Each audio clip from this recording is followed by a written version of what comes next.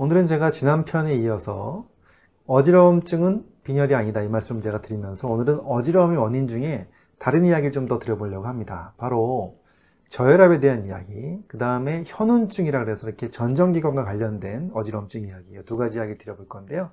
이야기 궁금하시다면 끝까지 봐주시고요. 그리고 도움이 되셨다면 좋아요, 구독, 알림 신청 해 주시면 감사하겠습니다.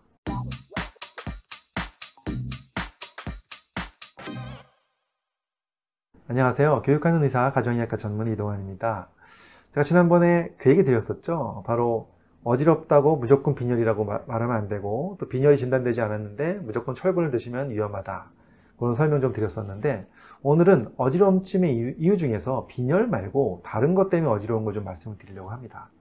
사실 어지러움이라는 말 자체가 굉장히 애매한 증상이죠.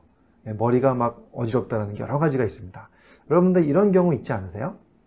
앉아 있다가 또는 엎드려 있다 갑자기 벌떡 일어나면 갑자기 핑 도는 것 같이 앞이 까매지면서 또는 앞이 하얘진다고 얘기하는 분도 있습니다. 그러면서 막 쓰러질 것 같이 머리가 어지러운 경우 있잖아요. 그것도 어지러움이죠. 그런 어지러움은 바로 뭐 때문에 그럴까요? 그렇죠. 머리로 가는 피가 갑자기 일시적으로 부족해져서 바로 혈압이 떨어지기 때문에 그런 겁니다. 그래서 어, 앉아있다가 갑자기 일어났을 때 혈압이 빨리 쫓아오질 못하고 저혈압 상태가 유지되면서 머리를 피가 가지 못해서 어지러운 것. 이걸 바로 우리가 기립성 저혈압이라고 합니다. 사실 기립성 저혈압은요, 굉장히 많은 분들이 일상적으로 많이 앓고 있는데, 뭐, 잘 그냥 큰 병처럼 여기지 않고 지내고 있습니다. 사실 저도 좀 있습니다. 저도 갑자기 엎드려 있다 갑자기 또는 앉아 있다가 벌떡 일어나면 어지럽습니다. 그래서 이 기립성 저혈압이 꼭 병이라고 볼 수는 없는데 아무튼 시간이 좀 지나면 다시 또 어지러운 게 좋아지잖아요. 그래서 그 정도로 적응할 수만 있다면 사실 문제는 없습니다. 그래도 걱정되는 게 하나 있습니다. 그런 상황에서 앞이 까매질 때 잘못하면 깜빡 정신을 잃고 쓰러지는 경우가 간혹 있거든요. 그런 분들이 2차적으로 넘어지면서 머리를 다치기도 하고요. 넘어지면서 막 어, 부딪혀갖고 어디가 찢어지기도 하고요. 이렇게 되는 경우가 되게 위험한 겁니다. 그래서 기립성 저혈압이 평소에 있으신 분들은 항상 알고 계셔야 될 상식이 있습니다. 바로 뭐냐? 머리로 가는 피를 빨리 만들어줘야 된다. 그래서 저희 아이도 이제 어, 기립성 저혈압이 있어요.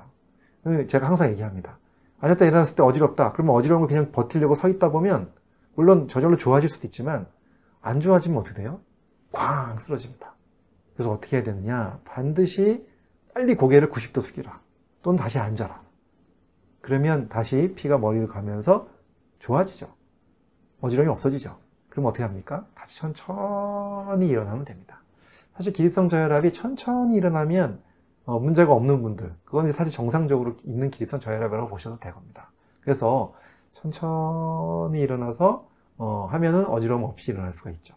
근데 갑자기 일어났는데 어지러웠다 면 다시 앉았다 일어나든가 아니 고개를 인사하듯이 90도 확 숙이면 머리 어지러운 게 없어집니다.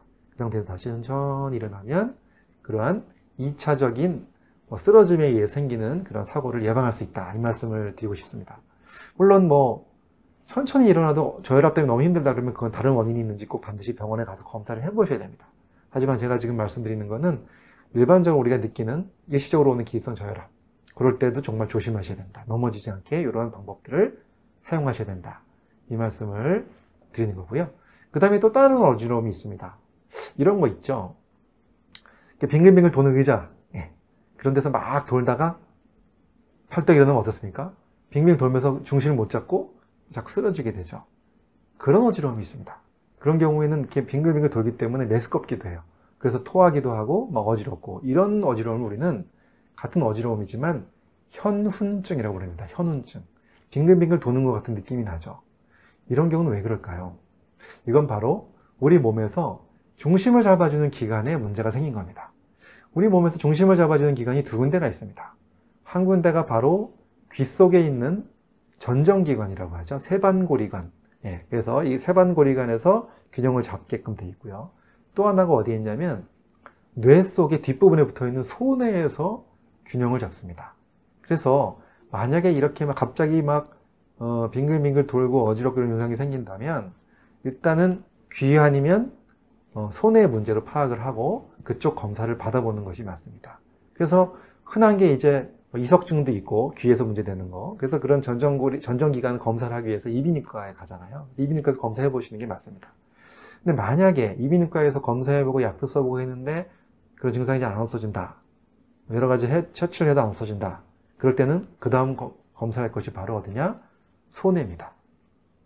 어, 손해는 신경과 쪽에서 보게 되는데 사실 음, 제가 옛날에 과거에 저희 환자분들 중에서도 어, 그런 분이 계셨었습니다. 실제적으로 귀에서 문제가 어- 아닌 것 같은 그런 어지러움 때문에 어, 병원에 의뢰를 드려서 뇌 검사를 해봤더니 손해에서 조그만 어, 종양이 발견된 적도 있었습니다. 물론 양성 종양이라 다행히도 수술하고서 깨끗이 좋아지셨는데 정말 다행이죠.